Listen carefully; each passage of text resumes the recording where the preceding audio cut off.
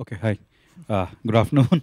Uh, I have been interested uh, in taking some feedback with respect to the conference so far.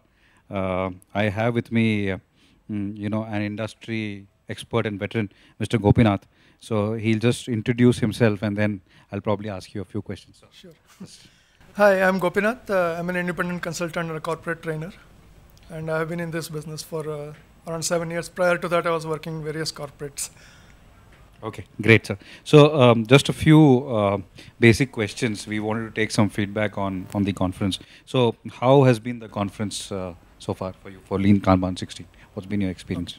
Well, it has been great. Uh, I've been uh, attending other conferences, but what I found is this conference is of a right size, and uh, it enables a lot of interaction with people, and yeah, that, that was good actually.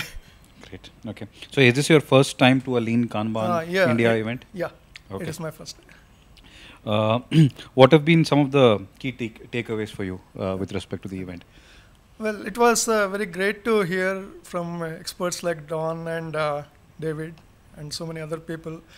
And uh, it was good to meet some old friends and make some new friends also. So it was a nice experience. Great. And about the content, uh, what what what for your what are your views about the content of the Yeah. of the conference so far? Yeah, content wise, yeah, it was a good learning. Different perspectives were uh, told by different speakers.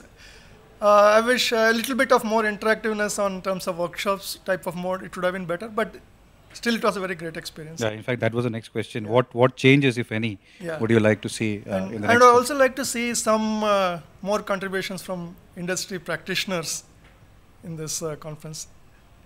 Okay.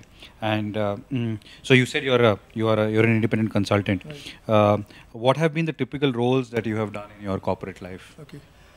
Well, I've been uh, coaching, uh, been an agile coach for a couple of uh, well-known uh, companies, and uh, also currently I'm taking up another assignment where I hope to utilize some of the learnings which I had from this conference. Okay, great. And the last question, which is a very important question, uh, how do you see uh, the Kanban adoption happening, uh, you know, specifically in the Indian industry and in the industry at large? Okay, the very first time when I heard Kanban was way back around 25, 26 years when I was in manufacturing company. And uh, subsequently it has come to IT industry. So Kanban as such in, in, in industry is not a new thing.